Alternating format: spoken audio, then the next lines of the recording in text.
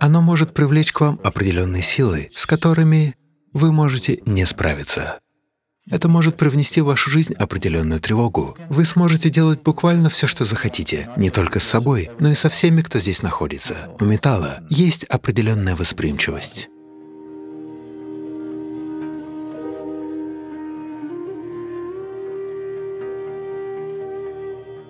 Вы задаете вопросы из области, которую я обычно избегаю. Потому что, по большей части, я не хочу говорить о том, чего еще нет в вашем опыте. Потому что если я буду говорить о чем-то, чего нет в вашем опыте, какой у вас будет выбор?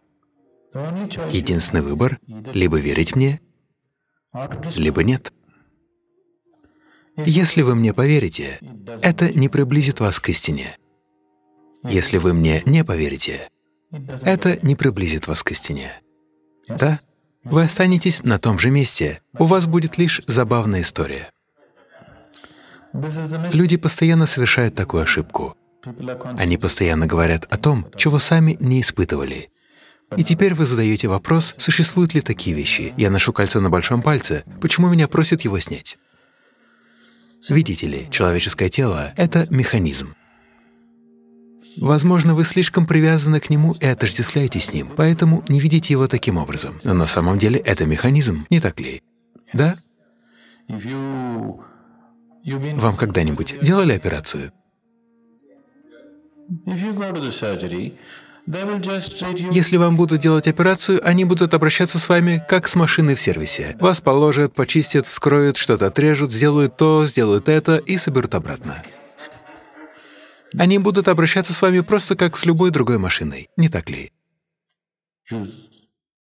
Для многих операция — это очень унизительный опыт, потому что внезапно все ваши мелкие иллюзии относительно себя исчезают. Вас просто вскрывают, зашивают, делают с вами все, что считают нужным. Не так ли? Так что, поскольку это всего лишь механизм, у него много возможностей. Как я уже сказал, в йоге мы смотрим на тело как на лестницу к Божественному. Если вы знаете, как его использовать, это феноменальный механизм. Сейчас вы его используете минимально возможным образом. Это самолет. Но вы предпочли ездить на нем как на машине.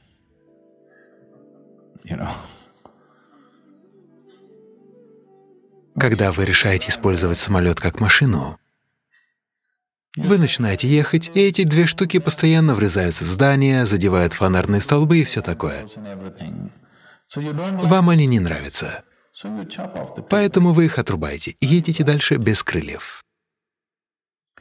Самолет с обрубленными крыльями — это замечательный автобус. Да? Вы счастливы? У вас все замечательно? А что не так? Я еду на отличном автобусе. Но когда тот, кто знает, что значит летать, видит самолет без крыльев, ему хочется плакать.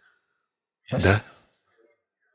Вот что я чувствую, когда вижу, что может дать людям йога и то, как они на самом деле живут, потому что вы даже представить себе не можете, каким все может быть. Видите ли, если я буду углубляться в детали, это будет звучать слишком сказочно чересчур фантастический, чтобы здравомыслящий человек мог в это поверить. Я бы никогда не поверил, если бы мне кто-нибудь рассказал об этом. Но для меня это повседневная реальность. Существует так много всего. Прямо здесь присутствует так много измерений жизни, здесь и сейчас. Но они вне вашего опыта. Я говорю лишь о физических реалиях, я не говорю о чем-то другом. В то время, как мы все здесь сейчас сидим и проходим программу, в этот момент здесь присутствует множество уровней физической реальности. Происходят различные вещи. Это целый многослойный мир, один внутри другого. Это существование многослойно, одно внутри другого. Современная физика начинает признавать это. Они говорят о множестве реальностей, существующих одна внутри другой. Это так.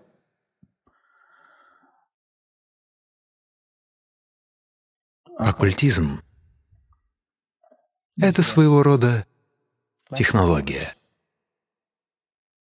Все, что мы считали невозможным несколько лет назад, сегодня стало реальностью, не так ли? Таким же образом, оккультизм — это технология другого измерения, но все же это физическое измерение. Оно все еще находится на физическом плане, но имеет дело с другим физическим уровнем, не с тем, какой вам знаком. Итак, что будет, если носить кольцо на большом пальце? Оно может привлечь к вам определенные силы, с которыми вы можете не справиться. Это может привнести в вашу жизнь тревогу. Если вам случится побывать в определенных местах, если вы привлечете определенные силы, это может привнести в вашу жизнь ужасную тревогу. Потому что, как только вы надеваете металл на большой палец, эти силы считают, что вы их к себе зовете. Например, если вы прикрепите антенну к своему мозгу, вам придется смириться с тем, что вы будете слышать абсолютно все радиостанции, которые работают в Калифорнии. Если вы не хотите все это слушать, вам нужно снять антенну, не так ли? Здесь то же самое. Металл обладает определенной восприимчивостью, определенным влиянием, поэтому он используется определенным образом. Всегда считалось, что вы должны носить кольцо на безымянном пальце. Во всем мире этот палец был определен как палец для ношения кольца. Думаете, это случайно? Нет, не случайно. На этом безымянном пальце отсюда до сюда расположена вся физическая Вселенная. Это как компьютерная мышь. Если вы просто проведете отсюда до сюда, вы можете перенести себя из одного измерения в другое.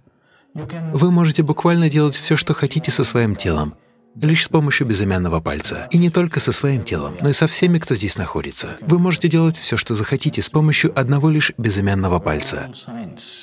В йоге есть целая наука о безымянном пальце. Безымянный палец считается ключом ко всему, чем вы являетесь. Поэтому носить кольцо на безымянном пальце стало важным, так как это простой способ обеспечить стабильность вашей системы. Если надеть на безымянный палец какой-либо металл, ваша система будет оставаться очень стабильной. Вы же надеваете его куда угодно. Люди носят металл во всех частях тела, которые только можно проткнуть. Он будет оказывать свое влияние. Это не является решающим фактором. Можно носить все эти вещи и при этом быть более-менее в порядке. Но это все равно, что сделать машину вертикальной, как стену, и пытаться ехать на ней. Да, вы сможете на ней ехать, но она будет потреблять в два раза больше топлива, чем если бы она была правильной формой, не так ли? Аналогично этому, вы тоже можете пытаться идти вот так, но вы просто измотаете себя в процессе своей жизни. Вместо того, чтобы проходить его радостно, без усилий, вы просто истощите себя, делая неправильные вещи. Вот и все. Все могут жить, но не все делают это с одинаковой легкостью. Не так ли? Просто потому, что в этом мире правильные вещи не будут с вами происходить, если вы не начнете делать правильные вещи. Неважно, внутри или снаружи, есть много измерений. Если вы не начнете делать правильные вещи, правильные вещи с вами не произойдут. Вот и все.